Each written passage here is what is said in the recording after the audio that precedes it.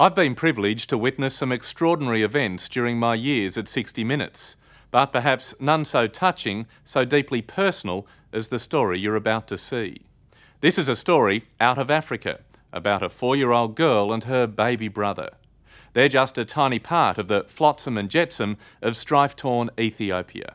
No parents, no home, and certainly no future.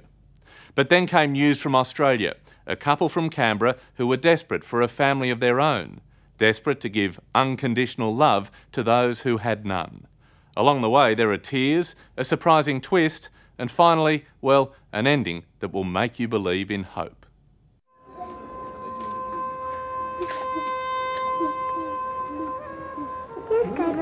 In an orphanage in Addis Ababa, a brother and sister sit studying photos, waiting patiently for the moment their lives will change forever. The moment they meet their new Australian parents. I wonder what their first reaction's going to be. Now, just minutes away, those new parents, Jenny and Tim Gavel, are fighting fear and swallowing tears. I'm keeping my mind off it. I know you are.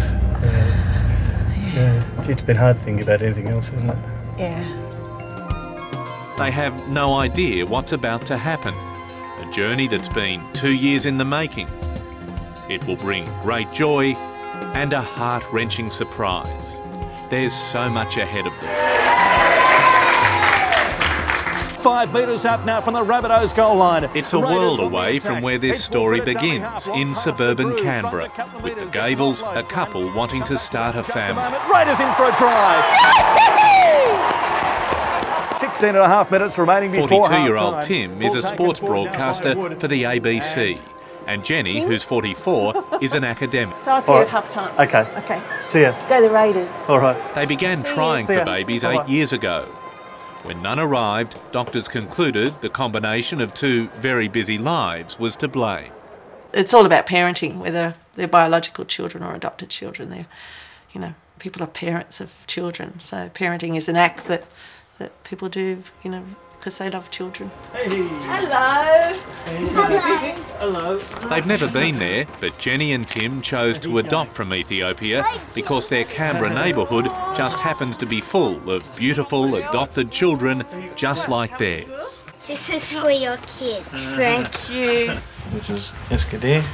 She's beautiful, isn't she? Yeah, she's lovely, isn't she? How old is she? Four and a half. This, is, you, your little man. This is little man. yeah. Not, not sure what the go is with the fingers, where he's Mm. going like Yeah. that. he's such a character, isn't how he? old's Esky? Two and a half. Snapshots of Eskadar and Eskander arrived three months ago. The Gavels have them strewn everywhere. We sometimes talk to them when you go past. You say, "See you later, Eskies. You know, off to work. See you, kids. See you, kids." Yeah, these would be good for on the plane, wouldn't they? But they leave Australia knowing very little about their children, other than they're orphans, their brother and sister, and their grandmother So, can no longer look after them. You might have to sit on it. What do you think your first words will be to your son and your daughter? Uh, Jenny might say um, a mama, and I'll say a baba, which is mum and dad. And apparently that that is something that they, they look for. They, they long to hear something like that. Yeah, basically mum and dad, and giving them a big hug. Is that, yeah. Yes.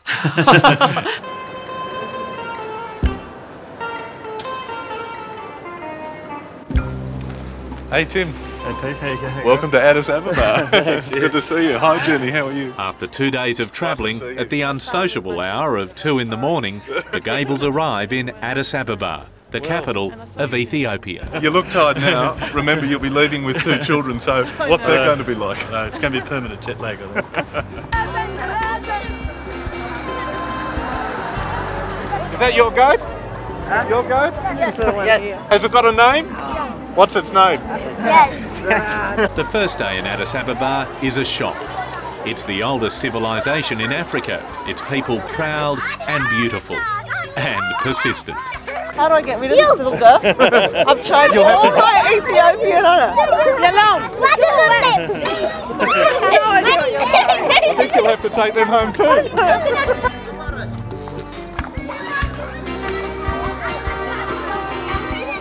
Officially, there are half a million orphans in Ethiopia, but most believe the true figure is double that. children alone because their parents have died from all sorts of diseases, the main one being HIV AIDS.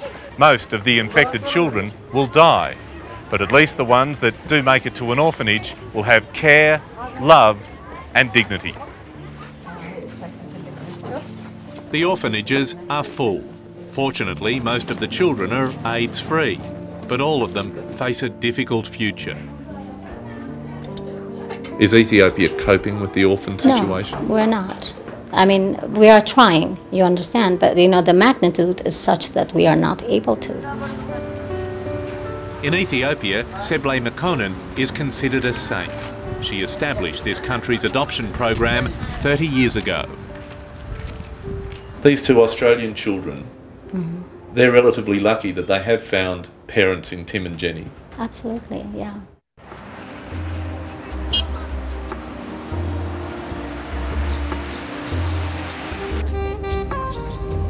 It's day two, and the orphanage has rung to say the children are ready. Jenny and Tim are on their way. How you feeling? I'm scared and a bit teary. Yeah, got to keep Yeah. your emotions in check. I won't.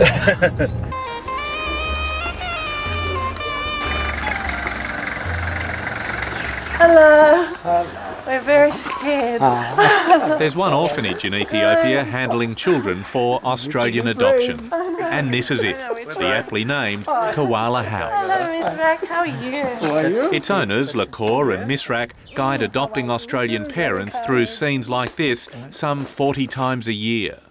Mm-hmm. Jenny, shall we get them? Yes. Yes. Are you ready? yeah, we, well, yes, we think ready, so. We're as ready as we'll ever be, yes.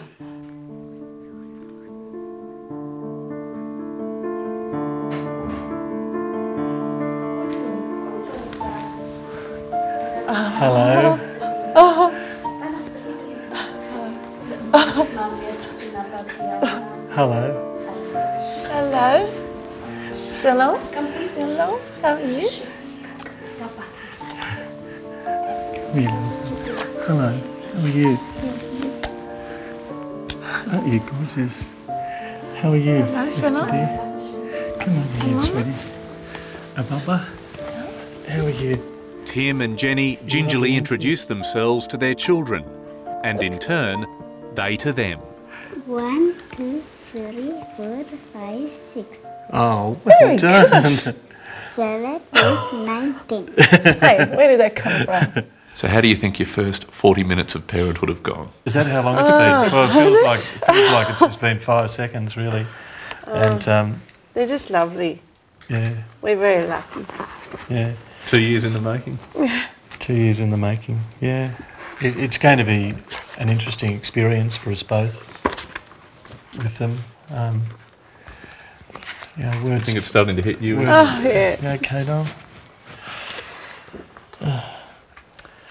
Well, I suppose you can call yourselves the Gavels from Canberra now. We can, yeah. We've got a family. They're just beautiful, aren't they?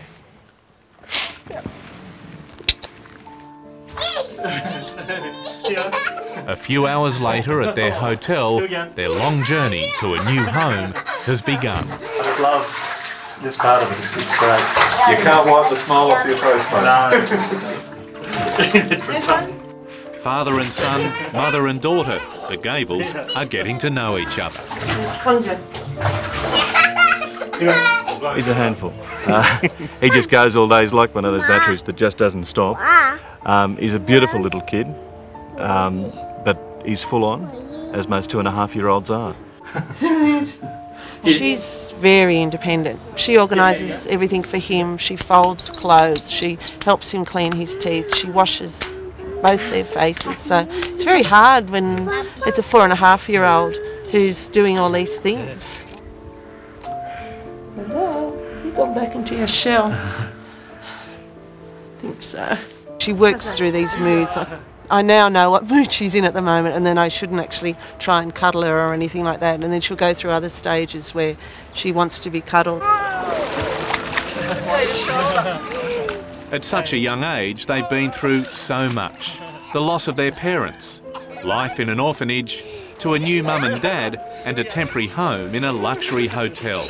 Tim and Jenny long to know what's going on in their young minds. And so, the next day, the Gavels travelled the back streets of Addis Ababa to find the grandmother who relinquished them.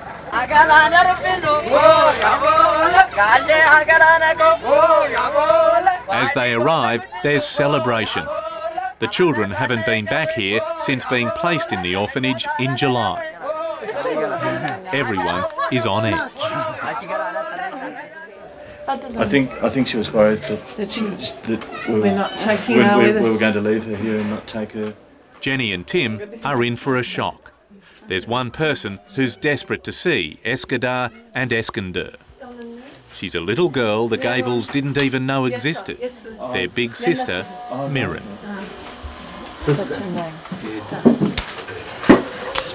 Her parents dead, her only siblings off to Australia. How must this little girl feel? At 12, they say she is too old to be adopted. Oh, oh. that is huge. Over coffee and cake, the two families talk. Then Jenny and Tim venture to ask about the mystery of the parents' death. The father actually died about three years back in a civil uprising, mm-hmm. and the mother died about a year ago from sickness. It was actually, they say, sudden. Mm. Suddenly. Suddenly, yeah. Offering no more detail, the grandmother says with a family of 14 to care for already, she relinquished the children, hoping they would get their second chance. The Gavels pledge to keep close contact, but as the goodbyes start, emotions overflow as reality sets in. Everyone knows this could be it.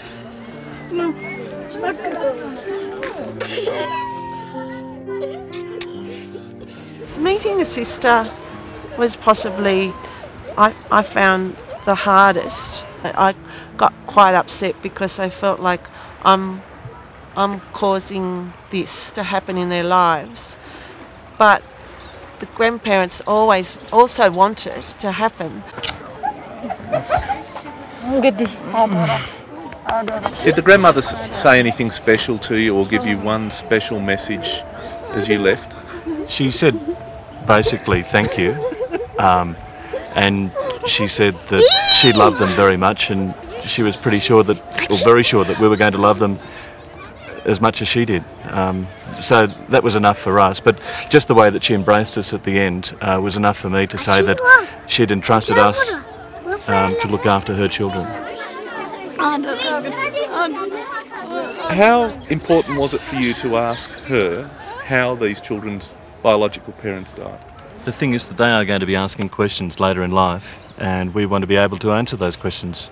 We are interested in their history and, and interested in where they came from.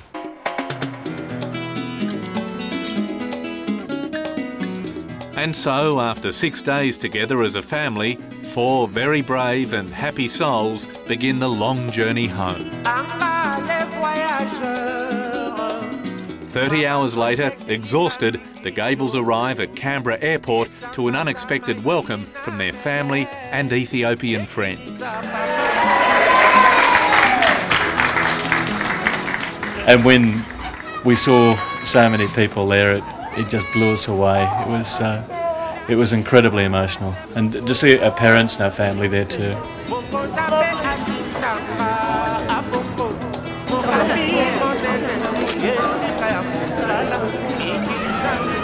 What do you think of your new grandson, Mr. Gavel? Fantastic. it's huge. One final journey, and it's home.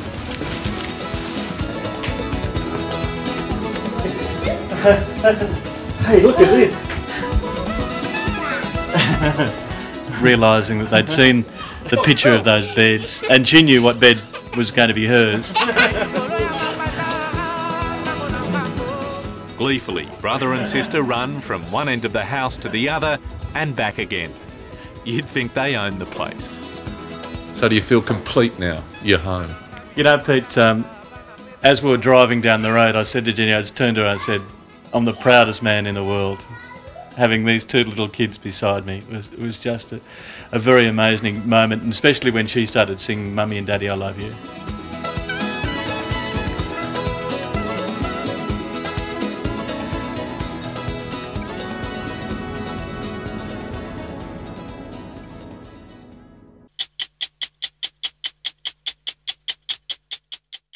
Hello, I'm Sarah Abo. Thanks for watching 60 Minutes Australia. Subscribe to our channel now for brand new stories and exclusive clips every week. And don't miss out on our extra minutes segments and full episodes of 60 Minutes on 9now.com.au and the 9Now app.